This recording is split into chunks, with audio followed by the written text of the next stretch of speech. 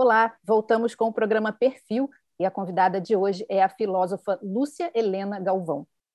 Professora, é, gostaria de falar agora nesse nosso último bloco sobre é, ao, o, os que são as doenças que são consideradas os, males do século XXI, né? Depressão, ansiedade, já foram até apontadas pela Organização Mundial da Saúde como males deste nosso século.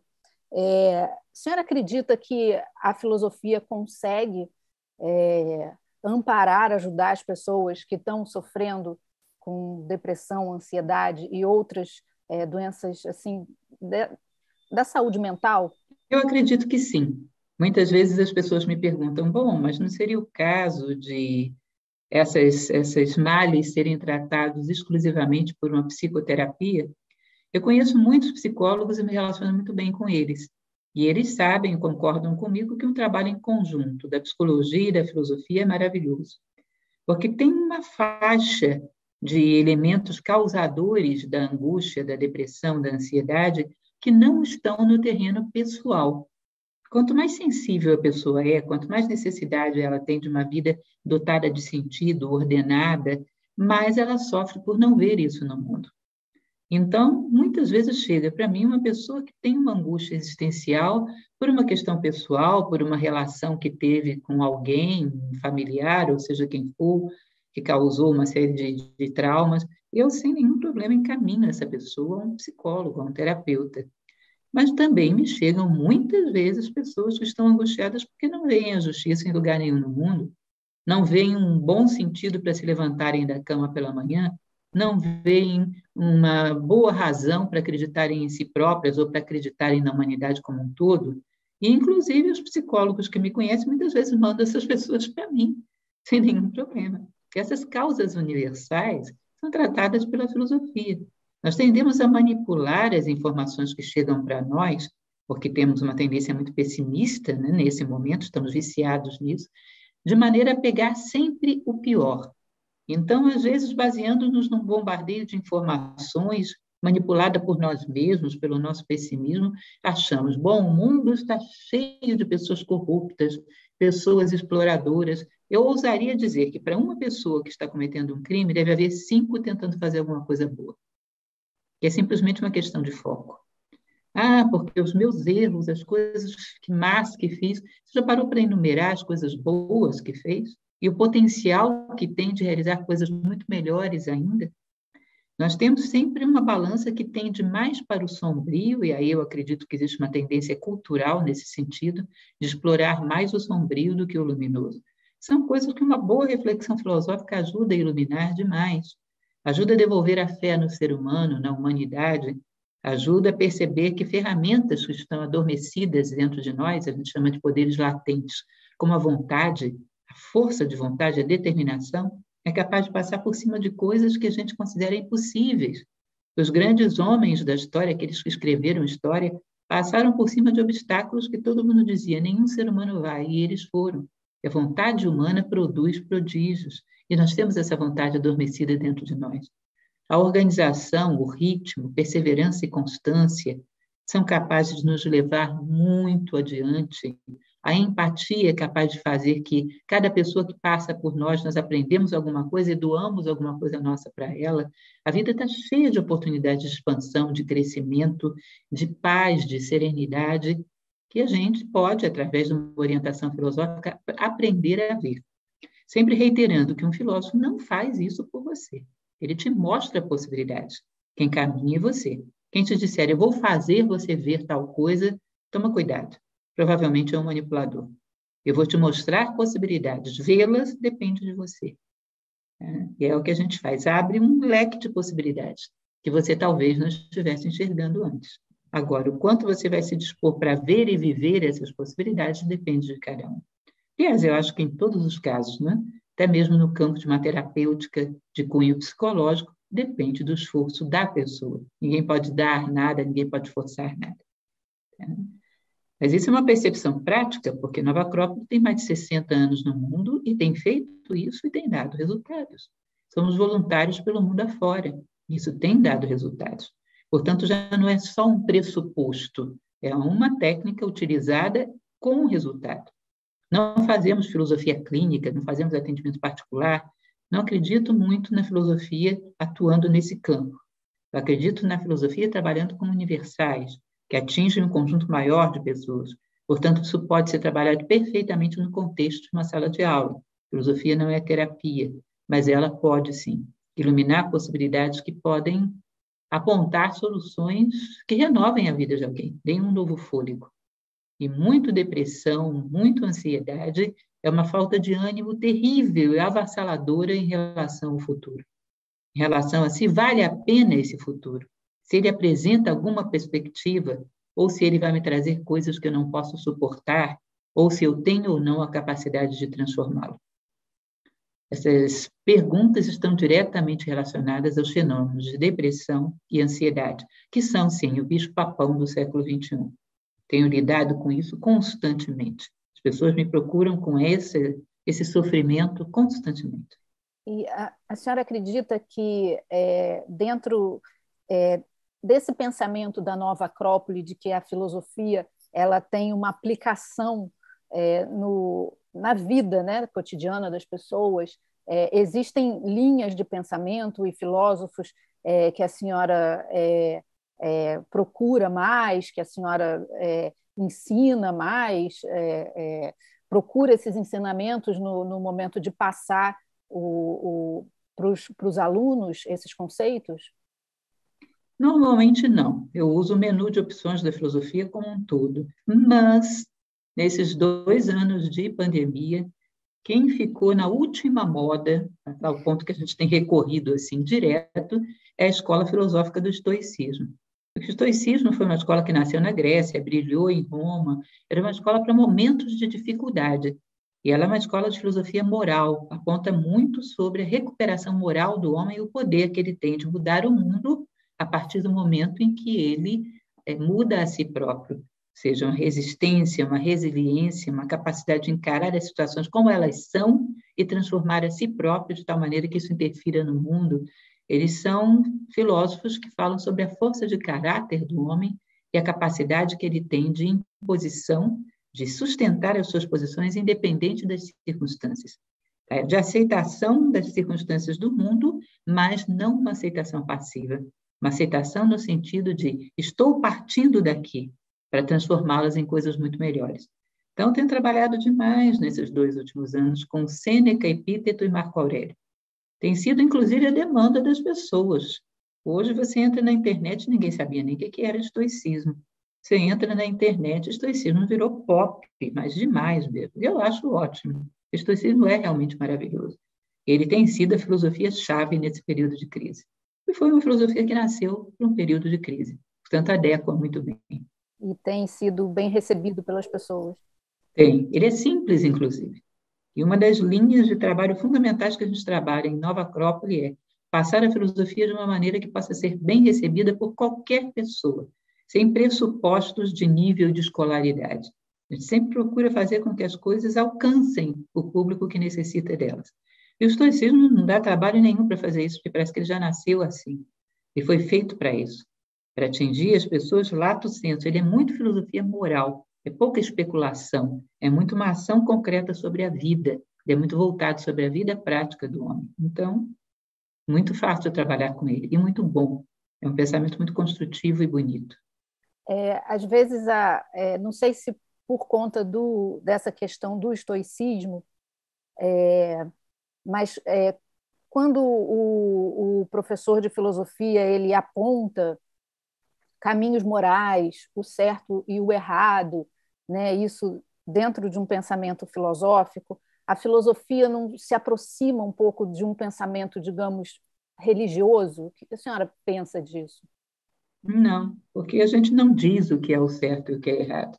A gente dá argumentos para que você encontre. Na verdade, nós começamos falando sobre isso, a questão do propósito. Nós ajudamos a pessoa a encontrar ela mesma um propósito, situado no campo do ser, porque propósito em relação a ter tem a santa paciência. Imaginem vocês, eu quero chegar ao final da minha vida tendo três carros e duas casas. O que você vai fazer com isso no final da sua vida? Qual vai ter o valor disso nesse momento? Claro que um grande propósito que justifique toda a vida está no campo do ser. Quero ter sido e quero ser uma pessoa fraterna, justa. Quero olhar para trás e ver que eu fiz diferença na vida das pessoas. Quando você elege esse propósito, e é você que vai escolher, você tem uma equação muito simples. Tudo que me leva para lá é bom. Tudo que me leva na direção contrária é mal. Em nenhum momento a gente vai dizer para você o que é bom e o que é mal. Vai apontar possibilidades, ferramentas para que você faça a sua própria escolha. Se eu estou me movimentando nessa sala agora, Fernanda, e te pergunto, eu estou indo na direção certa ou errada? Você imediatamente vai me perguntar, onde você quer chegar? Não é isso? Aí eu te digo, eu quero chegar na porta que está ali. Se eu estou indo para lá, está certo. Se eu estou indo para cá, está errado. Certo, errado, verdadeiro, falso, bom, mal, depende de para onde você está indo. Você escolheu um bom propósito no campo do ser, algo construtivo para você e para a humanidade. Você já sabe que são valores, você já sabe escolher, já tem discernimento, já sabe até quem é você. A minha identidade é aquela que está lá no horizonte. Eu sou uma pessoa cujo objetivo de vida é fraternidade, por exemplo. Então, o que a filosofia vai fazer é apontar referências de valores para que você possa ir construindo os seus. Ah, nunca um filósofo chegar para você e dizer, faça isso porque isso é bom. Não, essa escolha é tua. A filosofia não oferece de maneira nenhuma, não estou dizendo que a religião faça isso. Mas a religião costuma ter um conjunto de opções fixas que ela oferece, para que você aceite e pratique. A filosofia não tem opções fixas. Ela ilumina possibilidades para que você faça as suas próprias escolhas. Nós respeitamos todas as religiões, mas não estamos ligados a nenhuma teologia, nenhuma, nem antiga nem nova. Eu gosto muito de falar de religiões antigas, como o Egito, como a própria Grécia e Roma. Não estou vinculada a religiões nem antigas nem novas, respeito todas, tá? e respeito aqueles que as praticam, porém, a questão dos valores é fundamental. E esse é o campo de ação da filosofia. Ajudar você a escolher, a ver e estabelecer seus próprios valores e ser fiel a eles na tua vida.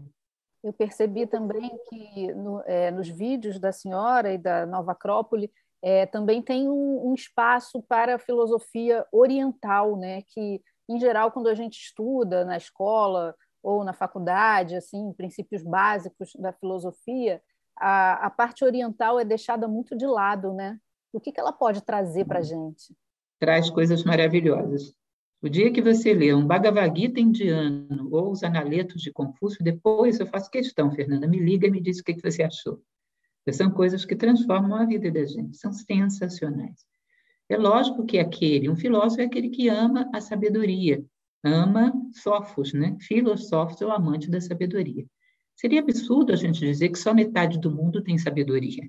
O Oriente tem coisas maravilhosas, tem tradições muito antigas e que chegaram a conclusões maravilhosas quando o Ocidente ainda estava engatinhando, diga-se de passagem. Pega um pouco das filosofias indianas, como por exemplo a Vedantina, o Ocidente ainda era muito criancinha quando Índia já tinha filosofias altamente requintadas, sistemas lógicos requintados. Não é porque é como se a gente resolvesse ignorar metade da nossa herança. Eu tenho uma herança que vem de uma família oriental e uma que vem da família ocidental. O oriental eu ignoro. Por quê? Se ali tem tanta riqueza, tanta coisa boa, e tudo isso faz parte da humanidade. Eu não sou ocidental ou oriental simplesmente, eu sou um ser humano. E tudo aquilo que um ser humano encontrou que viabilizou a nossa vida é herança minha também.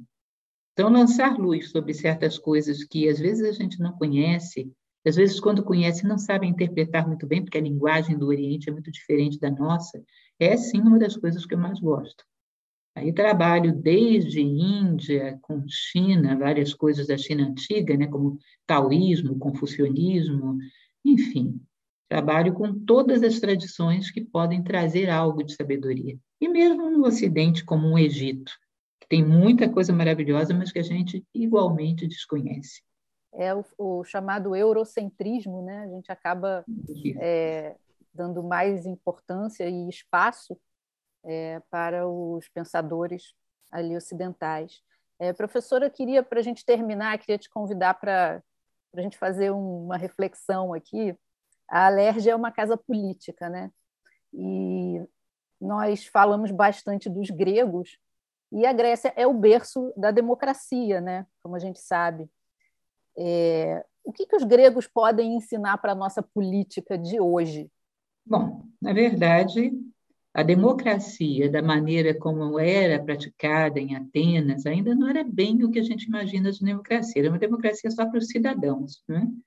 Democracia no sentido de que você possa realmente fazer escolhas, teria que ser providenciada em primeiríssimo lugar que as pessoas recebessem uma formação, uma educação que lhes permitisse fazer escolhas. Tá? Porque a liberdade sem a possibilidade é uma coisa bastante limitada. Né?